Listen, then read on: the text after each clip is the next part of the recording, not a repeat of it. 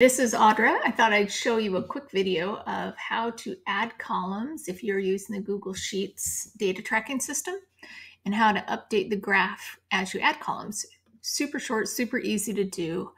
Uh, I have an example here that I made for another teacher.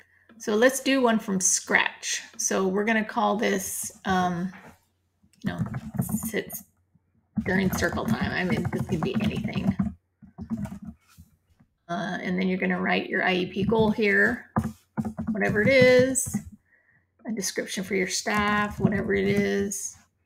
And then you can start writing your objectives. So say at this point he only does 30 seconds and that's the only thing we care about. And then we're going to go to one minute. Uh, if I could spell one, one minute, two minutes,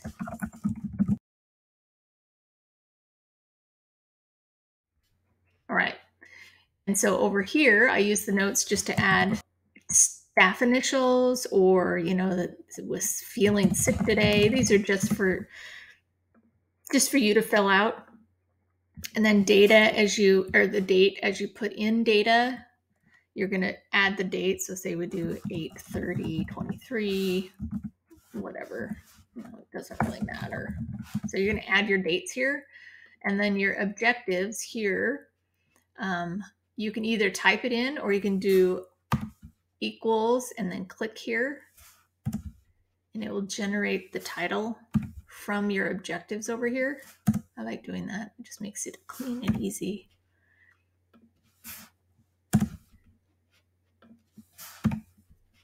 Three minutes and then, oops. And then four minutes and we'll get to the five and six and I'll show you how to add columns there in a minute.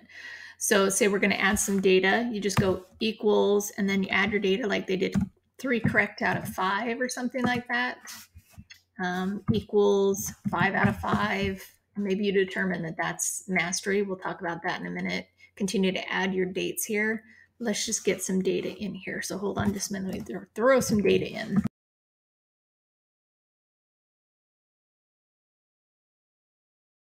Okay, so now we have some data. So I have this graph right here. It's generated the, the data from this. I'm going to customize this a little bit. I would I would just type in the date that you started an objective and when it was mastered, because this, if you print this whole thing right here, you'll have those dates there, which is nice. And then let's customize this graph first.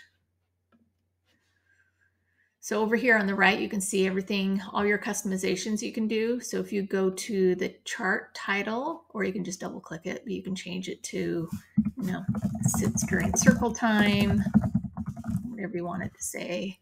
Um, you can also add a subtitle. So, you know, this is cute kiddo number one, whatever it is. And then add a subtitle here. It will generate the dates once you put them in over here.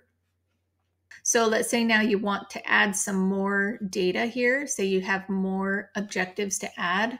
Obviously we have a five and a six minute here that we want to add. So the first thing I'm going to do is I'm going to right click on the last column here. I'm going to insert one column to the right. Let's add two objectives because we're going to do five and six minutes. So I'm going to right click one column to the right. So we have two new objectives here that don't have any data or anything. So I'm going to add the title, adding the equals, click on five minutes, equals, click on six minutes. So now I have space for new data. So I'm going to add some data in here so we can look at it. All right, so now I have some data in five and six minutes, but you'll see that it's not in this chart here. So let's double click it. We're going to go to setup and you can see that the setup is pulling data from C1, that first objective, through G way down below. So through G, but we want H and I to be included here. So all I need to do here is change this G to an I. You see, it didn't add it yet, but it does have it here in the series. So we're going to add the series because we have data in five minutes and in six minutes. So now it's added the data. The only thing it hasn't done is add the cute little dots that I like. Unnecessary, but if you like to add that, I like things to look nice. so if you go to customize you go to series and the point size. Those are all seven points, but you can turn them, change them to anything you want. Two points or whatever, none. But I like that. I like the little dots.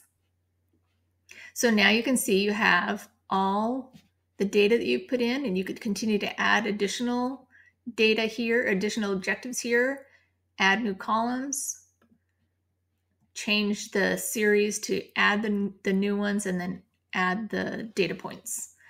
So the last thing is if you wanted to print this so it's nice and pretty, so you could select all the way down from here, kind of the synopsis here, the objectives where you'd have your dates initialized from that raw data and include this chart. And if you go, if you select that area and then you go file print, file print, and then go current selected, sorry, go to selected cells, you'll see it automatically is set up for a nice little chart that shows the progress that has everything there. So just to recap, if you want to add additional uh, objectives, First, if you want a title, if you want the, to pull the title from the objective, use the formula with the equals to pull it. Then you right click to add columns to add additional objectives. And then you double click on this graph, go to setup and make sure that the date range is correct to include the objectives you just did. And then the last thing is to go to customize series and just make it pretty the way you like it. And then once again, if you select that whole section and go print, go to selected cells, you'll get the little graph that has everything. So hopefully that helps.